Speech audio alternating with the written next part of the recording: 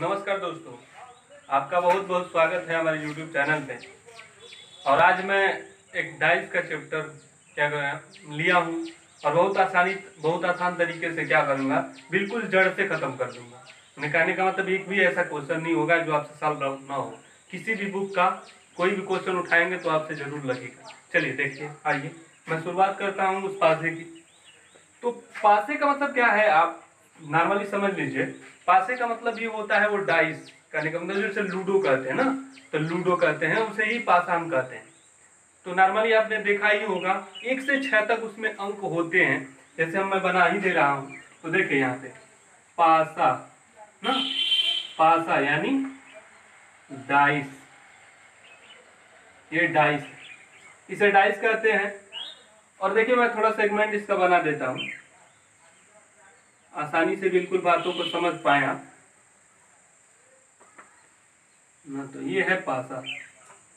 ऐसे कुछ बना होता है, आपने नॉर्मली देखा ही होगा इस चीज़ को। तो यहाँ पे कितने अंक होते हैं? एक होता है, दो होता है, तीन होता है, चार होता है और पाँच या छह। छह अंक इसमें इंक्लूड होते हैं, ठीक है? जैसे यहाँ पे मैंने रखा एक, दो, चाहे तीन। कुछ ऐसे अंक नहीं होते उसमें, या तो इस तरह बना होता है ना? नॉर्मली आपने देखा ही होगा इस चीज़ को। और इससे हो ना हो, आपके जो भी एस रेलवे या पुलिस वुलिस हो, इन वगैरह में इनको हर, उन्हें सिलेबस में होता ही होता ही, ठीक है? तो नॉर्मली से क्वेश्चंस बनते हैं और कहने का मतलब दो तीन बनते हैं। खुला पासा हो या नॉर्मली पासा से क्वेश्चन। तो देखिए, पहले नॉर्मली हमने समझ लिया कि पासा क्या है। अब देखिए क्वेश्चन कैसे बनते हैं तो पहला टाइप हम यहाँ पे इंक्लूड कर रहे हैं, पहला टाइप आपको बता रहे हैं। ठीक है तो देखिए पहला टाइप फ़र्स्ट टाइप है। ऐसे क्वेश्चंस बनते हैं। तो पासा जो होता है ना नॉर्मली दो तरह का होता है। पहला जो, पहले क्वेश्चन आएँगे आपका, जब एक पासा होता है, सामान्यतः एक पासे होते हैं, तब कैसे क्वेश्चन बनते हैं? तो देखिए नॉर्मली एक पासा क्या होता है? एक पासा हम पासा कहते हैं मानक पासा। मानक पासा। मानक पासा। और दूसरा जो पासा होता है, सामान्य पासा।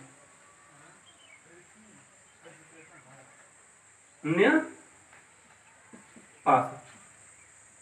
स्टैंडर्डाइज और नॉन स्टैंडर्डाइज ठीक है?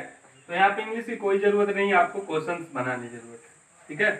देखिए यहाँ पे। मैंने क्या किया? यहाँ पे बना दिया। देख मानक पासा का क्या मतलब होता है? मैं यहाँ पे नोट कर दे रहा हूँ, आप आसानी से समझ पाए देखिए नोट कर दे रहा हूँ। ना? नोट कर दे रहा हूँ, मानक पासा का स्ट्रक्चर देखिए, मानक पासा में क्या होते हैं? इसके,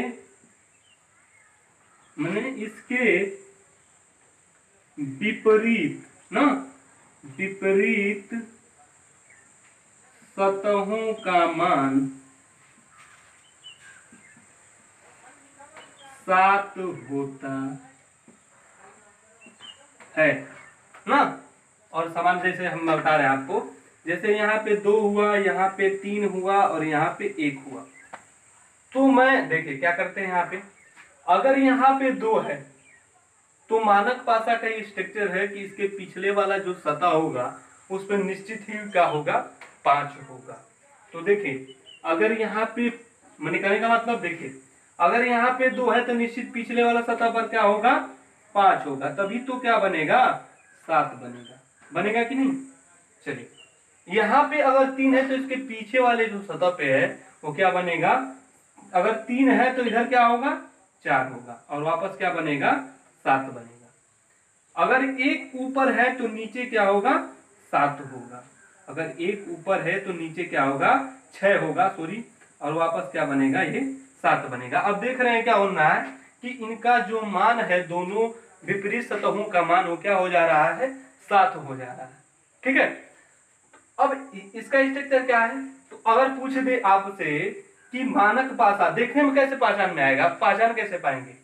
जब देखेंगे कि यहाँ पे देखेंगे कि दो और तीन जोड़ने से सात, जब भी ना, मैंने कहा था सात हो जाएगा तो सामान्य पासा हो जाएगा।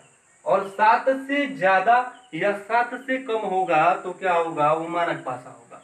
तो यहाँ पे देखिए, दो और इसके कहने का मतलब यहाँ पर सुन लीजिए, उसके बाद बता रहे हैं आपको। देखिए यहाँ पे। हाँ। देख, यहाँ पे अगर चार, तीन और एक लिखते हैं तो अब बात दिक्कत आ जाएगी। यहाँ पे अब देखते ही पहचान, यहाँ पे स्ट्रक्चर थोड़ा लिख दे रहे हैं आपको, समझ में आ जाए बात। इसके निकटवर्ती।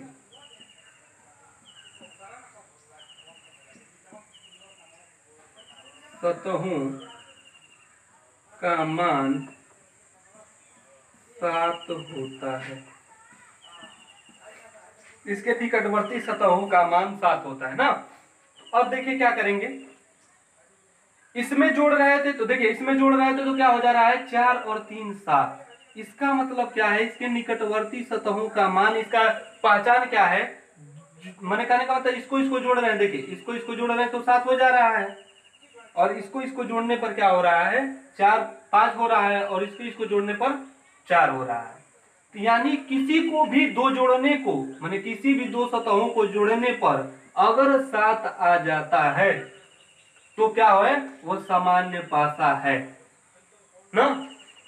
जो दिखाई गई, ये उभरी हुई परतें हैं। अगर वो लिखा हुआ अंक दो जोड़ने पर अगर सात हो जाता है तो क्या होगा? सामान्य पासा होगा। अन्यथा क्या होगा? वो मानक पासा होगा। यहाँ पे देखिए, किसी भी तरह से क्या है, जोड़ने पर वो सात नहीं प्राप्त हो रहा है। तीन दो पाँच। सात तो हुआ ही नहीं। तीन, दो एक तीन। तीन में नहीं, तीन हो गया तो सात तो हुआ ही नहीं। सात से ज़्यादा, ना? सात से ज़्यादा ना सात से कम सात ही होना चाहिए, तभी सामान्य पासा होगा। नहीं तो अन्यथा नहीं होगा। ठीक है? तो यहाँ पे देखिए तीन एक चार, सामान्य पासा नहीं है। इसका आंसर क्या होता है मानक पासा का? यहाँ तो आप बता सकते हैं कि दो का विपरीत पाँच होगा, तीन का विपरीत चार होगा, एक का विपरीत छह होगा। लेकिन यहाँ पे वैसा नहीं होगा। अब कौन कौन से आपके अंक नहीं दिखाई दे रहे हैं? दो नहीं दिखाई दे रहा है। चार नहीं दिखाई दे रहा है, चार तो दिखाई दे रहा है। पाँच नहीं दिखाई दे रहा है और छह नहीं दिखाई दे रहा है। इसका मतलब या तो दो, या तो पाँच, या तो छह। इसका आंसर क्या हो गया? कितना हो गया? दो या पाँच या छ ठीक है? तो इतना नोट कर लीजिए, उसके बाद आगे क्वेश्चन बता रहे हैं। ठीक है? लिख लीजिए। स्क्रीनशॉट ले लीजिए। देखिए दोस्तों तो मैंने यहाँ पे थोड़ा क्वेश्चन इंक्लूड किए हैं, आप जवाब दे सकते हैं, ठीक है? तो यहाँ पे क्या है? आसानी से बात को समझे, हमने स्ट्रक्चर इसका समझा दिया था आपको। अब क्वेश्चन है, आप सॉल्व करें। देखिए, क्या कहा है? यहाँ पे देखिए, मैंने क्या बताया था? दो ही चीज़ बताया था। या तो निकटवर्ती, यहाँ पे पहचानिए। इसको जोड़ने से क्या रहा? पाँच, चार, पाँच है, ग्यारह। सात नहीं है। सात हो जाता अगर दोनों को जोड़ने पर तो क्या हो जाता? सामान्य पासा है। तो अभी ठीक है कंडीशन ठीक है। यहाँ पे पाँच एक छह छह जोड़ने पर क्या हो रहा है? सात तो हुआ ही नहीं। सात से कम है। यहाँ पे देखिए छह एक सात, अब पकड़ा गया। इसका मतलब क्या है? ये सामान्य पासा है, ना? सामान्य पासा सामान्य पासा और सामान्य पासा का क्या होता है? कि जब भी सात हो जाए, दो निकटवर्ती सतहों का तो बचे बचे हुए तीन क्या होते हैं? उसका विपरीत होता है। यहाँ पे निर्धारित नहीं कर सकते आप, ना? ठीक है? तो क्या हो जाएगा इसका आंसर या तो दो, या तो चार, और या तो कहने का मतलब या तो दो होगा, या तो तीन होगा, या तो चार, है ना? या तो दो, या तो तीन है या तो चार। इसका आंसर क्या हो जाएगा? निकल जाएगा। कितना आसान था। ठीक है, आराम से आप निकाल सकते हैं, आराम से आप। तो यहाँ पे देखिए क्या है। तीन और एक जोड़े तो चार हुआ। चार एक, मैंने कहने का पाँच और एक छोड़े तो कितना हुआ? छह हुआ ना? और पाँच और तीन जोड़े तो कितना हुआ था? आठ तो यहाँ पे तो हुआ ही नहीं ना? तो कहने का मतलब अगला देखिए थोड़ा सा। अब देखिए तो कहने का मतलब क्या है? किसी की दो सतहों को जोड़ने पर क्या हो रहा है? सात नहीं हो पा रहा तो इसका मतलब अब आंसर करेक्ट होगा। अगर इसका तीन है तो इसके निचली सतह पर, विपरीत सतह पर क्या होगा? चार होगा। तभी तो क्या बनेगा? सात बनेगा तो इसका क्या हो जाएगा? चार होगा। तो इसका आंसर क्या आ गया? चार होगा। ठीक है? अगला। थर्ड क्वेश्चन क्या है? तो देखिए यहाँ पे। कह रहा है क्या? पाँच का विपरीत क्या होगा? तो आराम से निकाल सकते हैं। देखिए, जोड़ने पर क्या हो रहा है? चार और तीन जोड़े तो कितना हो गया? सात। तो देखते ही पहचान गए तो सात हो गया। इसका मतलब क्या है? ये सामान्य पासा है। और ये क्या था? मानक पासा था। मानक पासा था। समझ गए ना बात को? ये क्या है? सामान्य पासा है। ठीक है? सामान्य पासा। अब से आप क्वेश्चन उठाएँगे तो बिल्कुल पूरा का पूरा सॉल्व हो जाएगा, ठीक है?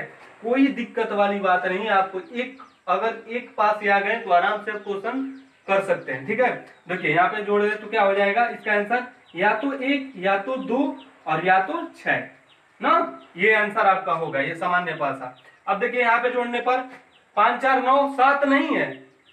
चार, एक, पाँच नहीं है। पाँच, एक, छह, इसका मतलब इसका आंसर जो होगा करेक्ट आएगा। यानी एक है तो इसका निचला जो सतह होगा, वो क्या होगा? छह। तभी तो वापस हुआ सात। तो इसका आंसर क्या आएगा? छह।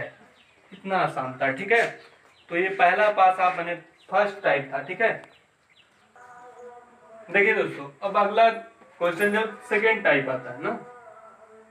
Type second.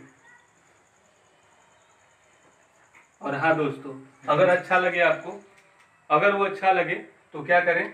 मेरे चैनल ट्रिकी एजुकेशन होम अगर मुझे, आपको लगता है कि नहीं, मैं कुछ परिवर्तन आ रहा है हमारे पढ़ाने से तो ज़रूर सब्सक्राइब करिए, और न था, न करिएगा। चलिए देखिए।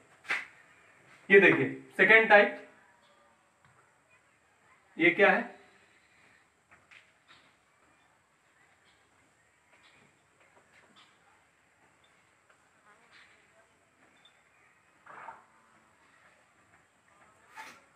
चलिए दो जब आ जाते हैं पास एक और दो। पहला मैंने बता बता दिया है। हाँ अगर दिक्कत हो तो कमेंट बॉक्स में ज़रूर लिखें। कोई भी एनी प्रॉब्लम मैं उसका